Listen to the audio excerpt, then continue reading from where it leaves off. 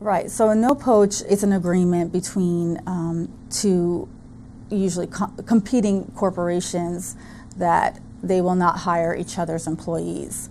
That's illegal because it it usually will fix wages as well as a byproduct of that agreement, and it restricts mobility. And usually, it's unbeknownst to the employee; they don't know about it. And um, you know, if they go to apply for a job at another company and they're refused, um, they're, they're stuck. And they're stuck with the same wages and you know they don't have any negotiating power.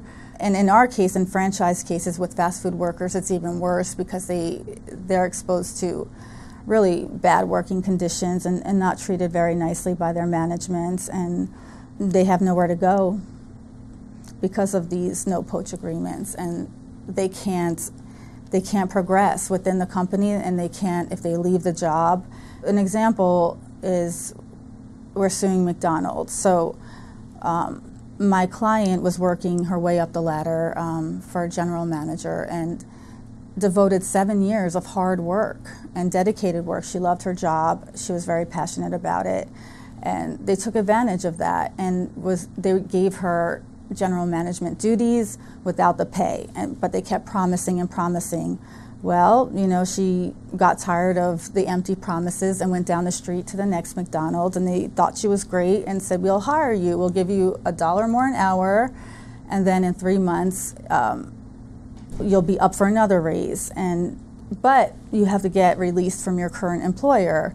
So she said, "Okay." And when she asked them, they said no we're not going to release you. And by the way, your register was short. So not only did they not release her, they used it to to to uh, do undue pressure and, and and scare her into staying and, and threatening that she was a, a thief and they were going to report her. So she ended up having to stay.